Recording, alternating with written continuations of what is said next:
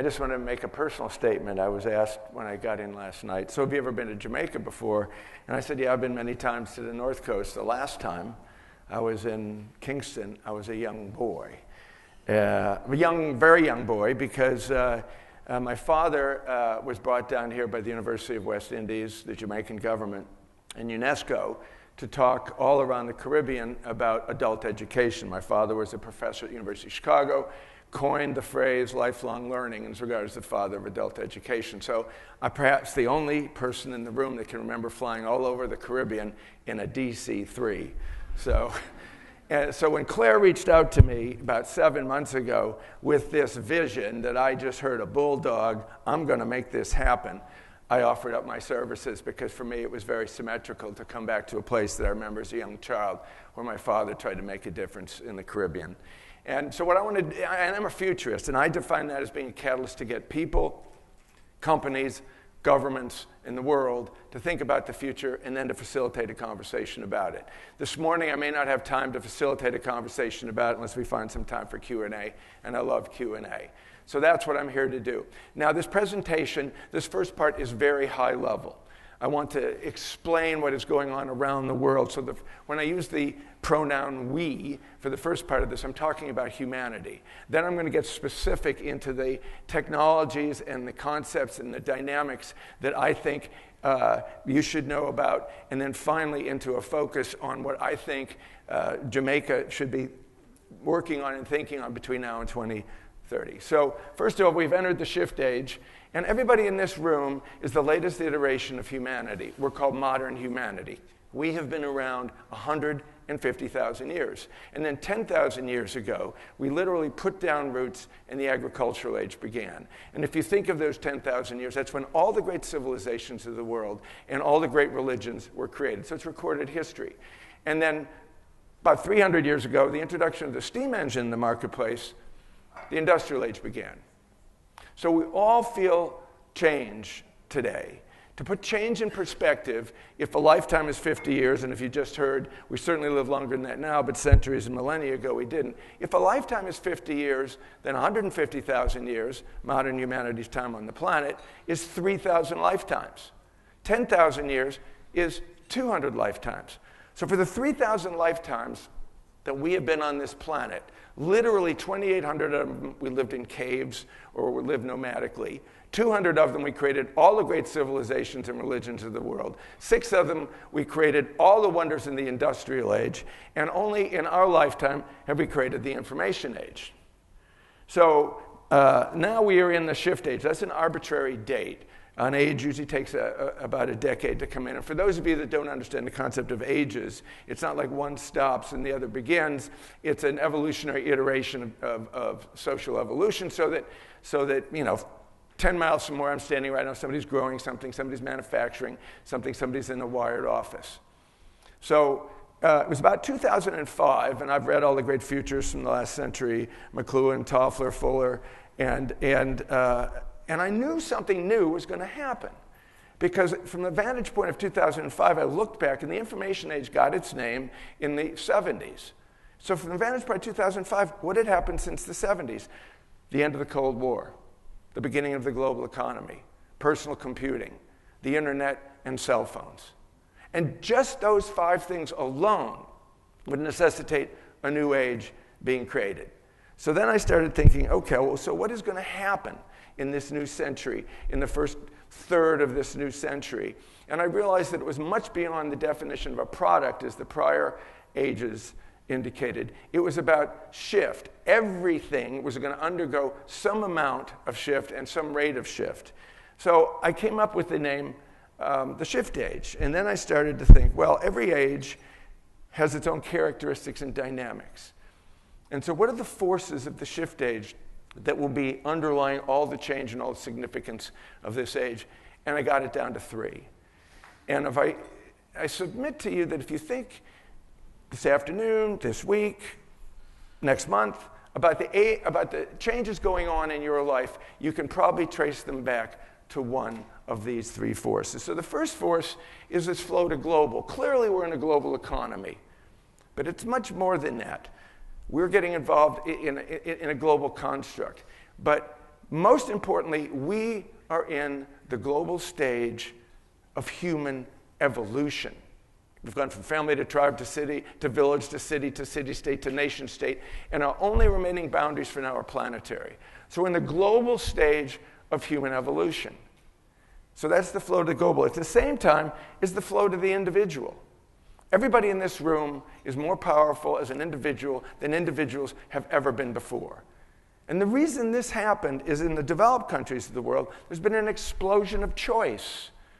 More brands of toothpaste, more brands of cars, certainly more brands of cereal, more way to watch video, more way to listen to music. And when there's an explosion of choice, the power moves from the producer to the consumer, from the institution to the individual. Now, to give you an example, I write a blog and I do newsletters.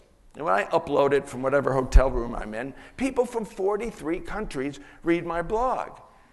I mean, that's very powerful for me because I can reach the world. 20 years ago, I'd have to be part of a, of a news developing organization. Now, both of these forces, the flow to the global and the flow to the individual, are powered by the single most significant force in the planet today the accelerating electronic connectedness of the planet. Now, you know, it, it, is, it is perhaps one of the two or three most in human history. And, and it is, you might say initially it's about the internet, and it's not. It's about this device, the cell phone. So we've entered the shift age. Currently, there's 7.3 billion people. Probably by the end of next year, it'll be 7.4 billion. 6.1 billion of them have cell phones. Think about that. That's cell phone ubiquity. There are more people who have cell phones. A higher percent of the world's population has cell phones than have running water or electricity in their homes. Now, what does that mean? It means that um, if I were to call the minister here on his cell phone, I'm not going to, I don't have your number, you know, 1, 1002, 1003, 1004, five seconds, your phone would ring, right? If I were to call, uh, you know, some of the people I know in China, maybe 12,000 miles away, it might be another two seconds because of the relay of the satellite. So, what cell phone ubiquity means is the difference between 15 meters and 12,000 miles is two seconds. So, there's no time or distance limiting human communication. That's the world we live in now.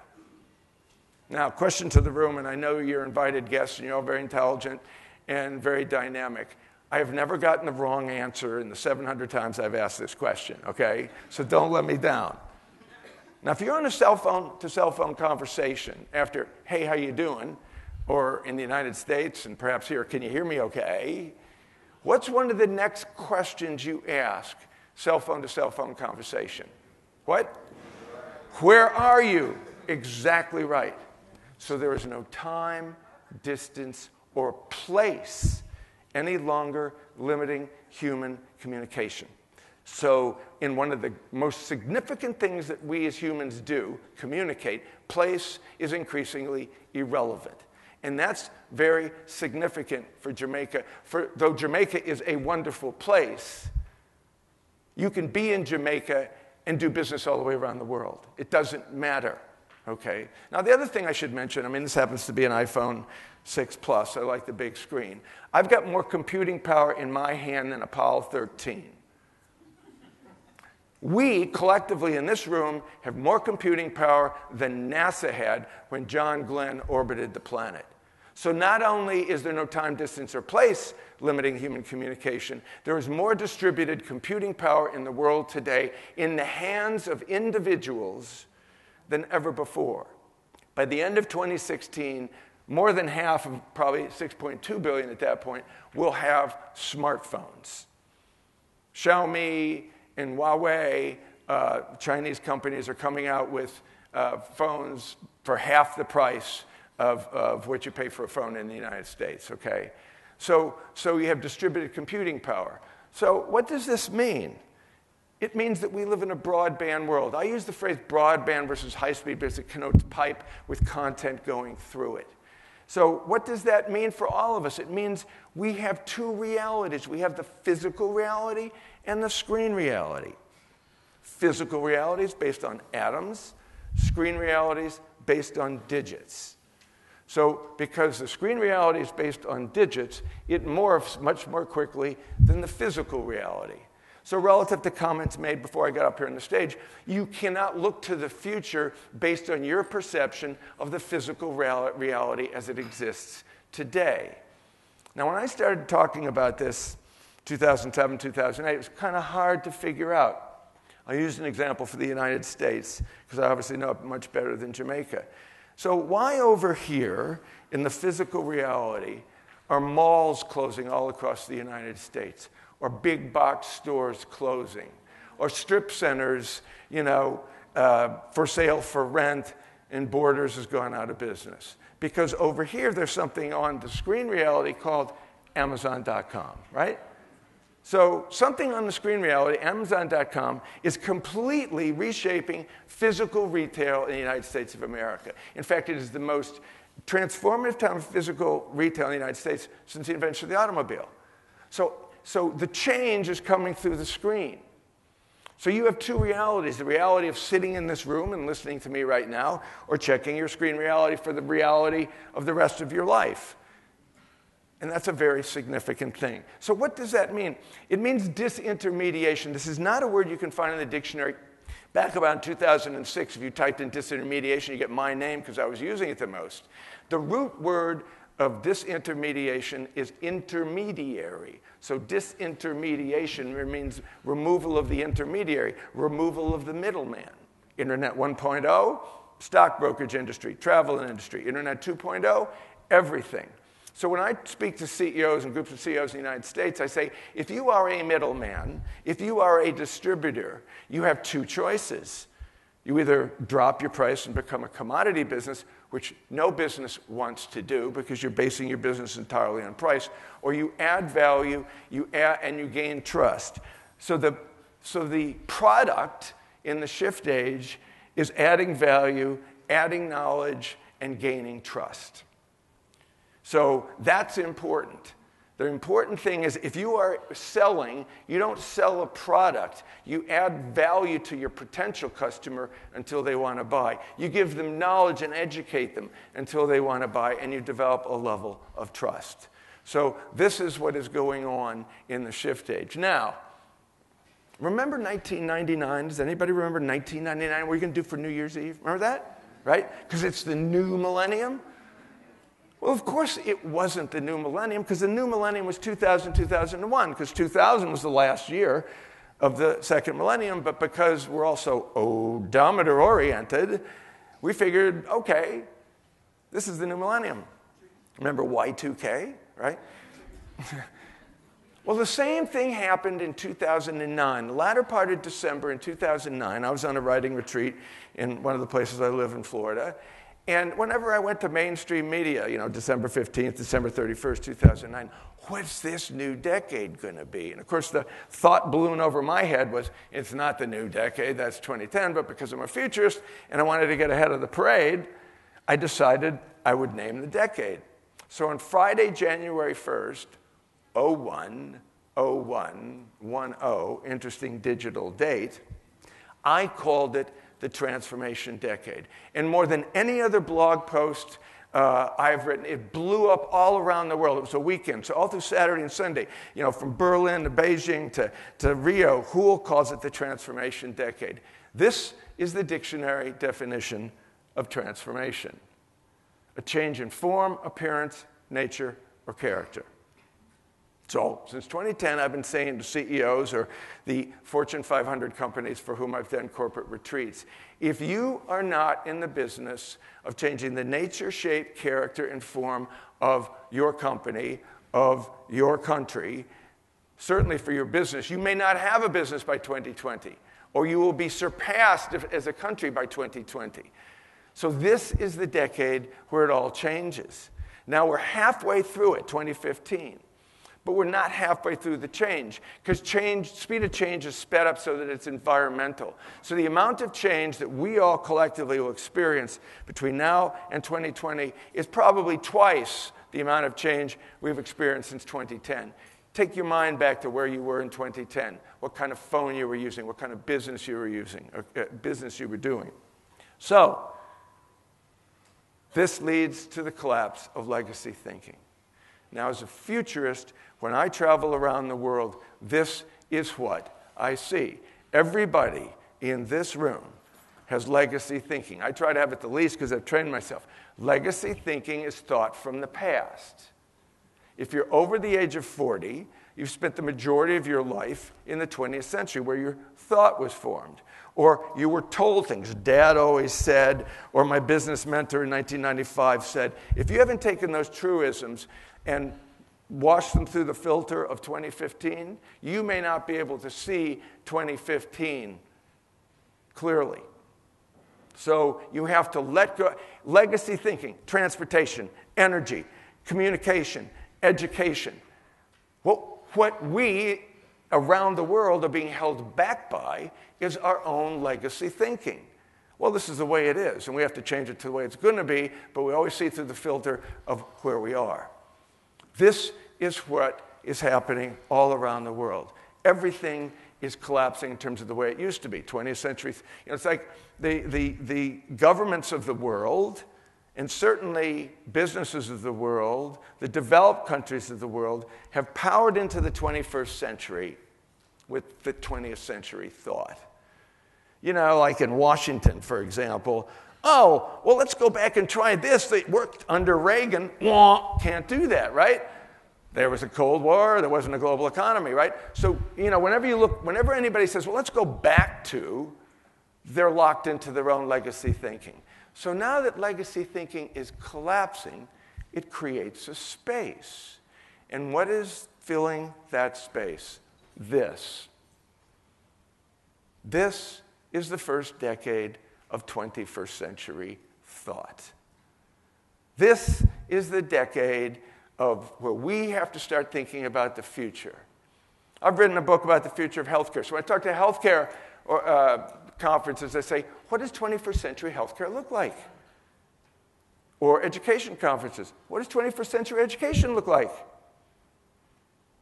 If I were to say 20th century to you, or 20th century, whatever comes to mind, the American century, century of World War, century of science, it began 1914 to 1918. World War I, Russian Revolution, general theory of relativity, the map of Europe as it largely is, and very unfortunately, the map of the Middle East as the Europeans define it, with these arbitrary straight lines and right, right angles in the middle of the desert. So, all the storylines of the last hundred years began with the second decade of the last century.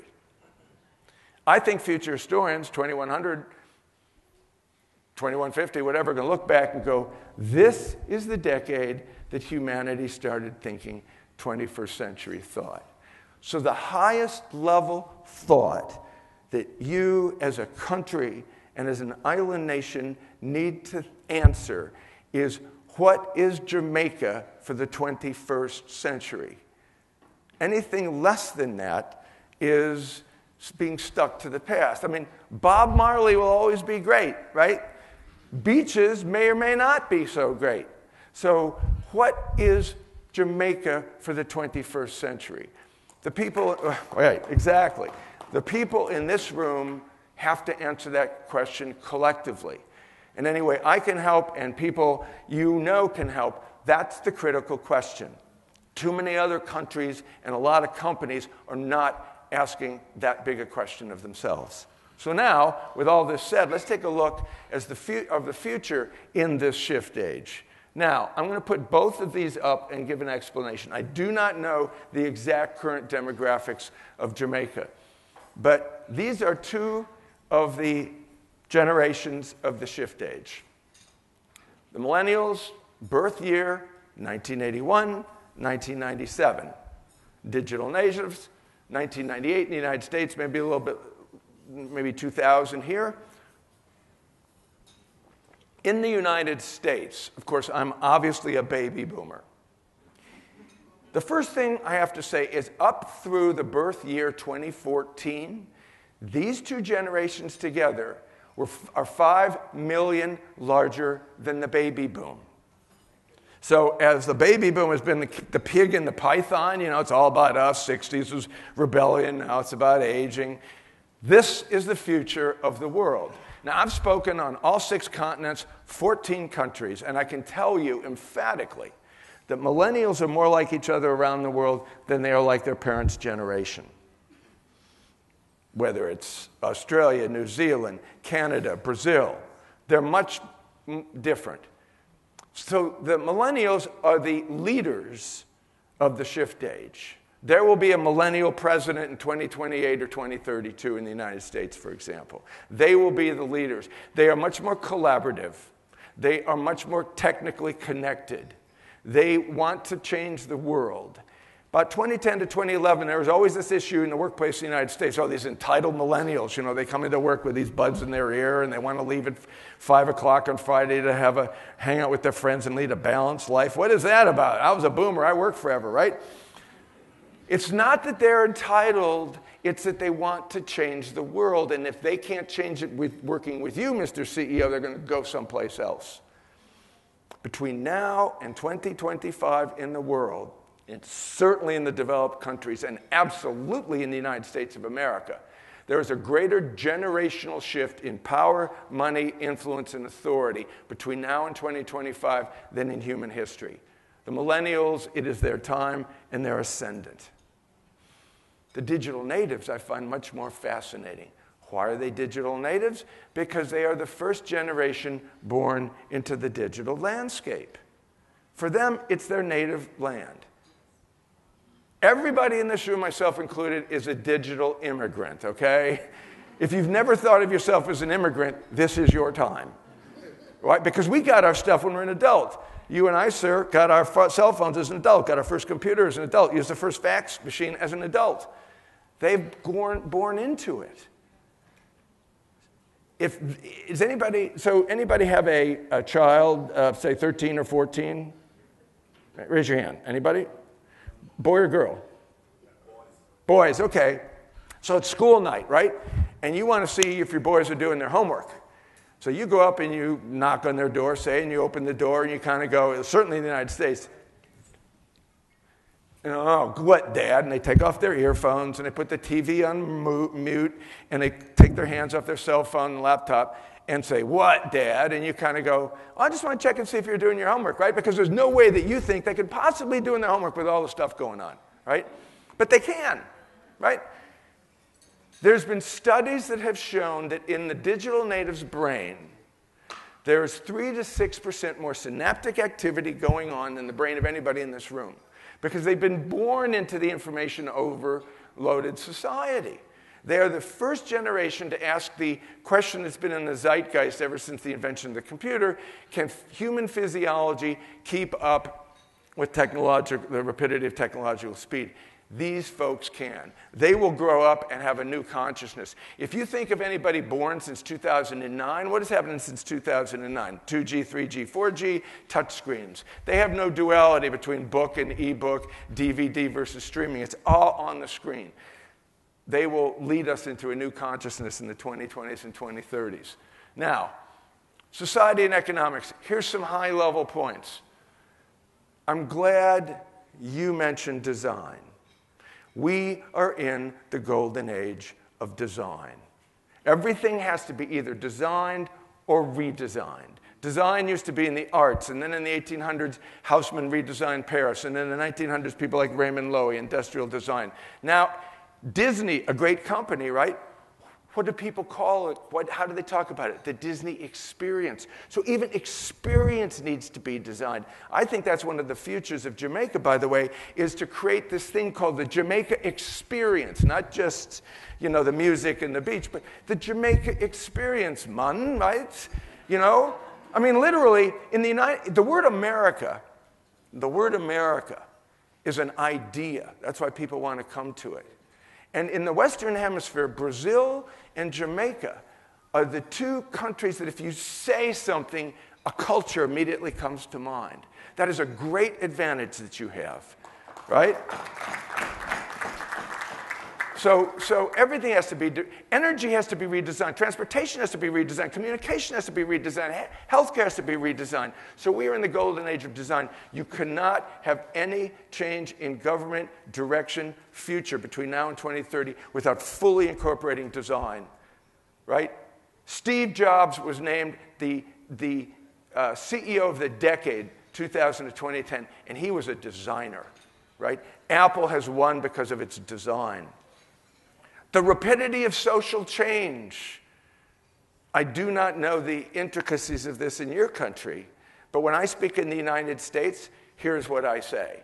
I say, tell me what, remember what you thought about gay marriage in 2008. Whatever you thought. Was it against your religion? Kind of weird if you weren't gay. And if you were like any one of the three people who could have become president in 2008, Obama, Clinton, or McCain, you were dead set against it. Now it's the law of the land in the United States. If you'd asked me, even a futurist in the year 2000, you think gay marriage is going to be legal? I'll go, not in the United States, right? The next thing is marijuana. Marijuana is going to be legal. It is legal in 25 states, two thirds of the population. Right, exactly. You should do this. I mean, I got all kinds of grief. You know, you can go to my website, davidhoule.com. I have all my forecasts, what I said, when I said it. And in September 2010, I said by the middle of this decade, marijuana will be largely decriminalized in the United States of America.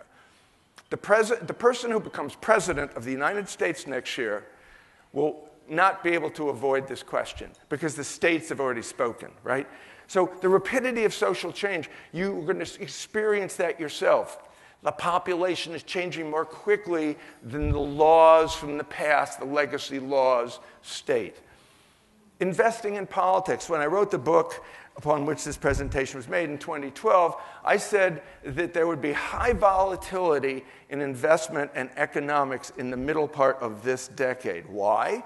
Because you come into the decade with traditional metrics of measurement earnings per share per quarter, and then something like 19 billion for WhatsApp and 2 billion for Oculus Rift. What is that? So, so you know, right now it's like the, the, market doesn't have anything to do with traditional metrics. It's in reactive mode to things that are going on in the world. I think by the end of this decade, there'll be some more integration in terms of what things are valued, so there'll be much more stability. But the, the volatility in the commodity markets and in the equity markets has been no surprise to me. I happened to be in China the last two weeks in, in August, and it was really funny because I spoke to the number one wealth management company in, in China on a Thursday. Their Shanghai had gone, the uh, index had gone down, right at that point it was 3480. First question they asked me, what do you think it's going to be? I said it's going to be 3,000. Oh, no, it can't be 3,000. The following Tuesday, it broke 3,000, right? So because of this volatility. The good news, I was saying 2018, I think it's going to be 2019, we will have the first global bull market in the planet. All past bull markets have been centered around national economies. But now that we're getting ever more integrated, when this new stage of the uh, uh, uh global economy I'm about ready to talk about takes off, it will be a global bull market. So, so part of what will give you a lift is that going into the 2020s, right? Cities and urbanization. Okay, 53% of all humans live in an urban environment today. So 53% of 7.3 billion. All the projections show 70% by the 2040s. That's a 40% increase, okay? 40% increase in the number of people living in cities. But the other correlative data that you need to know is that by then we will be at 9 billion. 70% of 9 billion means that from 2015 to 2045, 30 years, there will be 2.6 billion more people living in cities than live in cities today. The math, as you said, have done the math, 75 million people a year moving to cities. That's astounding. 100,000 people a month are moving into cities in Asia this year alone. Now, most of this is Asia and to some degree Africa, but certainly uh, Kingston will be 50% larger. And how do you deal with that? So, okay, I didn't know that was a, uh, a laugh line. Okay. Um, so the future, the future of humanity and the future of cities is very congruent. I disagree with what was suggested here. I think we have new, and entered a new age of lower energy costs. Now, Good. Well, then you're with me. The, the current blog, you can go to my website. 2015 will be the peak year of fossil fuel consumption. It's going down. There's all these trends. I can talk about it.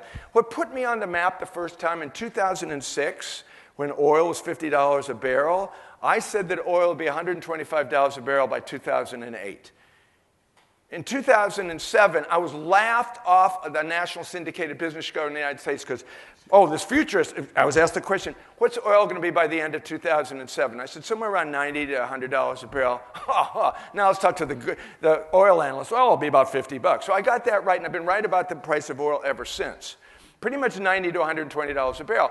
At the beginning of last year, 2014, I said there'll be lower pressure on that, that oil could go down to the $70 mark. Obviously, it went down to the 40s.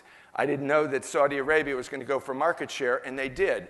We will never have a $100 barrel oil again. Absolutely. It's great news. And at the same time, in the last seven years, solar and wind have come down so they are the same cost relative to conversion to electricity as fossil fuels. They absolutely are. So the reason not to go immediately to renewable energy is laziness or lack of vision. It's that simple. The price is now the same. Absolutely. So there, you know, there should not be and, and, what the, and, and, there should not be anything. And, and also, the, the, cars we drive are more efficient. We're going to electric cars. So, all these things are going to bring down the cost of energy. So, for an island nation, that is very significant.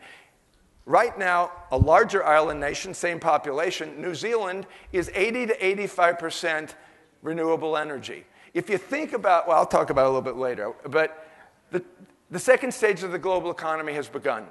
The first stage 89, 2014, everybody got in the game, right? I got a suit. It's a great microfiber travel suit. It's made in Vietnam. 20 years ago, I wouldn't have bought a suit made in Vietnam. Now everybody's into it. The next stage, which we've entered, is much more integrative. It is getting ever more connected. This is something that an island nation needs to think about. You are no longer an island nation, you are part of the world. Okay? You are part of the global economy in ways that you could not have been even 10 years ago. Now, I'm going to put up some economic trends, and there have dates. These are trends I first noticed in the United States, and they are definitely happening in all the developed countries of the world. The first is thrift is the new cool. Because of Amazon, because of things, nobody buys stuff that isn't on sale. In the United States, since the Great Recession began, the number of thrift shops in the United States, or secondhand stores, has doubled. Millennials are not materialistic. They want good connectivity to stay in touch with their friends, and they're much more experiential than they are materialistic. Again, plays to your advantage because this is an experience to come to Jamaica. It's not to come and buy a product, it's to have a life experience. Less is more. Baby boomers, downsizing. Millennials, not materialistic. Houses will get smaller. Zero carbon footprint. Cars are getting smaller. Everything. Less is more. I walked into my apartment, which I no longer have in Chicago, uh, and it was like 1,200 square feet. And, I, and uh, a little bit more. If you take away the kitchen and the two bathrooms, basically it was a place that I kept my stuff. I had my books, my records, my CDs, my DVDs. Now that's all digital in one terabyte, right? So, you know, the digitization means smaller. You can increase the population and not have the type of problems of housing we have today. Housing will change. And, and I first said this in the United States about real estate, but it is true across our culture. As a baby boomer, I was told buy real estate, always go up in value. No longer the case. Climate change, aging population, nobody, the uh, millennials can't buy because they got all the student debt because their parents said, don't worry about it, you know. Uh, we'll take out a second mortgage on the home. Now it's underwater, right? But it, now it's everything. You don't need to buy a DVD. You stream with Netflix. You don't even need to buy MP3. You stream with Spotify. You, if you are an Amazon Prime member, I get 100,000 books a month I can read for free, right? So everything is going to a subscription model. The concept of having to own things is going away because everything is rentable or leasable. And finally, conscious capitalism, double bottom line. A millennial is going to look to you, um, or someone's going to look to you and go, What does your company stand for? Are you increasing greenness in Jamaica? Are you increasing clean water in Africa? What do you stand for? Because I need to know that if I give you my money, you have a vision of changing the world. This is absolutely going on in developed countries. It's the double bottom line. Not, I'm going to give one tenth of 1% to the charity. Anybody hear of Tom's Shoes? Yeah, okay. Buy one pair of shoes, and we give a pair of shoes to a child in a poor country. I teach, I'm the futurist in residence and guest lecturer at the Ringling College of Art and Design. So I talk to some of the most talented 18 to 23 year olds, and half of them have Tom shoes, wear them, and have the logo because that's important to them. Okay? Now, era of big data. It's one of the most significant developments in the shift age. Think of it, you know, everyone talks about it. What is big data? You know, it's been talked about too much. People dressed in black like me, so they're not talking about it, right? Um, it's the third stage of human mapping. First stage, what does this island look like? Second stage, how do we traverse the island? The third stage is big data, human behavior. It is real time anthropology and sociology. There is more data being created in this room right now, even if your cell phone is off, than was created in Jamaica in 1980. Okay? It's kind of like we are in data waves, we're completely submerged. We all know that there's television waves, radio waves, cellular waves going through this room. It's data waves. When a CEO says, Well, last year my numbers were, I go, What, what were your numbers last night? Because you should know, right? It's all connected, everything is known. It is a data driven world, okay? What the problem with data is there's so much data. So, relative to the design comment, so I mentioned I'm at the Ringling College of Art and Design. These are creatives. Starting in 2012, the CIA hired one of the graduates. Now, the intelligence community is one of the largest sectors that is coming to Ringling to get design students. And I sat down with Larry Thompson, the president, and I said, I mean, dumb me, I didn't obviously get it. And he said, there is so much data clearly coming into the intelligence community around the world that they need artists to graphically represent the data so you can see the flows and the dynamics and where the information is coming from, where it's going, because you can't make a decision unless you can understand the data, which is what this man right before me was saying. You know, people ask me as a future, what kind of education should my child get? I said, get a generalist education. You know, when I graduated from college, I was told, you're going to have five jobs in your lifetime, unlike my parents who had one. Now, people are being educated and saying, you're going to have five or six careers, three of which don't exist now. So the only way you can educate people is to prepare them for something that we don't know what it is. And having general knowledge is much better than having an accounting degree, okay? Now, I was asked to talk about technology. Some of these technologies I put up are not necessarily for Jamaica, but these are the technologies that are happening certainly in Silicon Valley in the United States and certainly in Europe. Um, and th- there will be billions of dollars made on these technologies between now and 2020. Obviously, 3D printing and custom manufacturing. The whole concept of manufacturing will change. Henry Ford defined it as mass. Now it's going to be custom. Augmented and virtual reality, huge. Remember the screen reality and the physical reality? Augmented reality merges the two so you have the experience at the same time. Virtual reality will change every single game uh, medicine, education, gaming, everything. Bionics and robotics. Bionics is stuff that goes in our body. Uh, the exoskeletal suit, right? That is now in production, where somebody who is a quadriplegic can walk. Pretty astounding. And all this stuff about aging, which you touched on so, so accurately, that's what robotics. What am I doing? What's wrong here? We're okay? Okay. Um, robotics, that's one of the things. They're going to help elderly people. Voice recognition and translation software. I was saying to somebody last night, you know, I was in Shanghai um, a couple months ago. You don't need to learn a foreign language unless you want to learn it because it stimulates a certain part of your brain, you know. Excuse me, could you tell me how I could get to the Apple store in Shanghai? Ding, ding, ding, ding, ding, ding, ding, ding. Apple. Uh, okay, thanks, right? That's simple. Brainwave computer interface.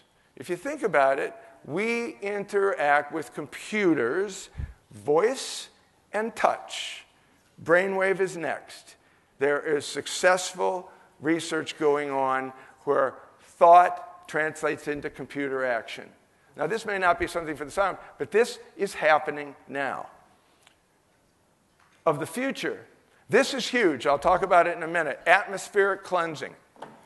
Alternative and renewable energy is the greatest wealth creation opportunity in human history. All right? It's the first time that five to six billion people have to replace a product they're using. So, again, alternative renewable energy is the single greatest wealth creation opportunity in human history. And whoever invents the ability to extract CO2, I'll talk about in a minute, from the atmosphere will have unimaginable wealth. And it is going on. I have a website uh, Future Wow, and I, and I featured it recently. There's a guy in Rotterdam who, through Kickstarter, raised some money, put up like a two story tower. So, in an area twice the size of this room, it stands there. It's in Rotterdam, and it cleans out all the CO2 and all the particulates around it. That's a way to place by place by place solve pollution, which, by the way, pollution kills more people every year than all the cancers combined holographic communications device. We talk about, oh, you want to have a video meeting? It will be holographic. That's the next iteration. I mean, everybody has a smartphone now that you can't even use all the features that are already on it. I understand that, right? Uh, but but it, will, it, will, it will go to holographic. Second generation virtual reality. This is where 1984 and everything um, changes because the, the, first generation, 2016 will be known as the year of virtual reality uh, certainly in the United States. You know, where, where you, I, I, I, I keynoted in April in Australia, and so I was the future, so everybody wanted to show me their virtual reality stuff. And I remember a couple of them when I put them on, and the experience I had for the two minutes I had it on is as real as the experiences I had physically in Australia. So now the next stage is they're going to incorporate the sense of smell and the sense of taste, which are the two senses that trigger memory. And when they have that, by 2020, 20, between 2020 and 2025, you will be able to come home. And I mean, virtual reality could be a big deal here because anywhere in the world you could recreate the Jamaica experience. Now, to be little almost, uh, almost off color, you know, if you start thinking of the peripherals you can put on, you won't know whether it was real or whether it wasn't real, okay? So, this is really significant. It's also where, where governments could control the people. It's also where people could be, people, you know, can travel widely and never leave their home. So, this is a real moral thing. Collective consciousness interface technology. When I started my blog in 2006, I called it Evolution Shift. Because people always say to me, Oh, so your future. So you talk about the future of technology. And I say, No, I don't talk about the future of technology. I talk about how humanity changes because of technology. And I see us living, we are the first iteration. Remember, I said time and time, distance, and place has gone away in communication. We are the first iteration of humanity to live in a spatial context. It was 165 years ago that the telegraph was invented. So, 170 years ago, the speed of human communication was a horse day. How far a horse could go in a day. Now, something happens. I was up late last night because I saw that there was this huge electoral victory in Canada. I wouldn't have known about that for a couple of days, right? But the point is so we're getting all connected. So I really believe that there's going to be an evolutionary shift. We, we live in a spatial context, and if you think of those digital natives and how they're growing up, grandma's two keystrokes away the world's knowledge is three keystrokes away. That's going to change consciousness. And it is already being done in universities in the United States where somebody is sitting here playing a video game and they have to make a decision and they know what the decision is it's A or B, and somebody across campus who's wearing the same headset picks the right answer. This is already happening. Okay, shift age energy. New era of lower costs, how long? I think it's going to go on for years. It could be for the next decade. This is a great time to completely go to, to renewable uh, energy. Um, I was rereading, uh, well, hold on. This was the breakthrough. I've been saying for years as soon as we get store, battery technology up to speed, it will trigger a revolution. If you think of 1900 to 2000, all the great technological change, battery didn't change hardly at all, right? Thank God for my new hero, Elon Musk. Elon Musk created the Power Pack. I don't know if all of you saw that. Of course, he's changing automotive with the Tesla. Tesla Power, right? You can buy a beautiful thing about the size of that speaker that mounts on your wall that stores alternative renewable energy because alter- re- renewable energy has the problem. If it's cloudy, uh, if it's no windy, uh, but on a sunny day, it stores it. One per household gives you a week worth of storage. He announced it in, and he came up with a big one called the Power Pack for utilities and big companies. He announced it, not ready to take orders, and he got a billion dollars worth of orders in two months. Okay? He's building a gigafactory in, in Nevada, right? it, it, it, a giga because it's huge. He is going to make annually as, men, as many of these batteries for his cars and for, for Tesla Energy as exist in the world today, right? And it's completely powered by wind and solar. So he's making the stuff with wind and solar. So your manufacturing over the next 15 years by 2030 could be completely powered by renewable. Okay? And, and, and this is an island country of variable weather, but largely sun. This solves the problem. Distributed energy, talking about the grid. Distributed energy, also direct current.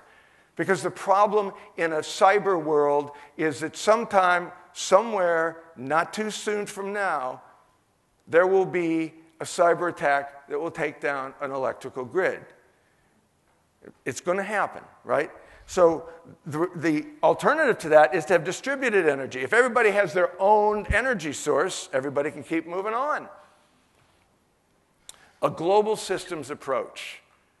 The world has to have a global systems approach. There will be countries in the world that will take 20 years to get off of fossil fuels. There are countries in the world like Denmark and New Zealand, they're going to be off it in five years. So we have to look at it globally because there is nobody who is not downwind or downstream from somebody today. The new era of the automobile. This is what I'm writing about. Think about what is about to happen with automobiles. We are going from hardware to software, driver to driverless, fossil fuels to electric. Total transformation. By the way, Apple has 600 people working on a car. By the way, Apple has more money in its bank account than the combined market caps of Ford and General Motors. So you want to talk about a seminal change. You're going to have Google and Apple as dominant cars. Uber is doing driverless cars. So by 2030, in the United States, at least a third of the cars in the United States will not have drivers. You know, drivers are the most dangerous part of the vehicle, right? well, they are, right? Google has done 2 million miles, 2 million miles on, uh, on the roads, 17 accidents, all, all caused by the driver. This is one thing I want to talk about real briefly because it's in my mind. I have a book. I wanted to have it out so I could give it all to you today. I'm going to give it, I'm going to give it to you and I give it to you, Diana, and you can disseminate it. It's called This Spaceship Earth. I'm also setting up a global nonprofit, thisspaceshipearth.org. The concept is simple. Marshall McLuhan. There are no passengers in Spaceship Earth. We are all crew. The purpose of my nonprofit is to get us all think as crew. You know, you have an advantage because you're an island nation. We have a, my, my co author has as an image the picture of the Earthrise over the moon. And he says, Earth, the ultimate in island living, right? Who is going to resupply Spaceship Earth? Nobody. So that's very significant. So, Jamaica, real quickly 20 to 21st industry development. You have to embrace 21st century. Don't just think that bauxite is the answer, okay? That's 20th century. You have to think 21st century. Transform education for 21st century. The fastest growing phenomenon in K through 12 schools in the United States is coding. And Diane told me about this wonderful thing you were doing with women, right? Coding. People, this is a beautiful place to live and work. In a globally connected environment, you can build 21st century industry that is all computer coding or creativity and send it to the world because people like me and other people want to live in nice places because I can connect to the world. It's very significant. Thank you. Further brand development. Again, what I said, you in Brazil. When you say Jamaica around the world, People have an image, they have a sense. They will say one of the obvious things, right? And that is, that is so powerful. You say Puerto Rico, you say Bolivia, nothing happens. Jamaica, oh yeah, Jamaica, right? Double down on that. Right. Focused immigration, it's kind of what I just said. You want to bring in, you know, the great co- Silicon Valley is a mess. Anybody been in Silicon Valley in the last year? It is nothing but a parking lot. It is nothing but overpriced housing. It is people are starting to move to Portland. People will move where there's a comfortable way to live. You should have a, uh, an immigration policy that is asking for intelligent, well-educated people to move here. That's how you're going to get ahead, right? And lastly, think, you know, when, when, when, when Sherm, when, when I was asked to come down here and do this, I started thinking about the Caribbean. Think about what's about to happen between now and 2030 with the Caribbean, right? Cuba is opened up to the United States. That's a game changer. Puerto Rico is in bankruptcy. Sea level rise. By the way, when I was talking about the spaceship Earth, here is, a, here is a fact you need to know. And I've learned this from my co author. If all the carbon emissions stopped tomorrow, you know, this Paris Accord, oh, we all want to reduce it by 2%. If all the carbon emissions stopped tomorrow, we still have 70 years of baked in warming. In other words, if all the carbon emissions stop tomorrow, there is a definite, already committed, going to happen two foot sea level rise. What's Kingston, Kingston going to look like with a two foot sea level rise? You know? I mean, it, and, and the, latest, the latest statistics, you know, when I say 2,100 people check out, but the latest statistics from NASA is that there could be a five foot sea level rise if we don't change our way by 2050. So I am talking to millennials. If you are under the age of 30, by the time you are, this climate change is the central problem, issue, opportunity and challenge of the millennial generation. And you have to think about it as an island nation. So, uh, welcome to the shift age. We're in it, another 20 years. Remember the three forces of the shift age, and welcome to what I think is the greatest age of human transformation in history. Thank you very much.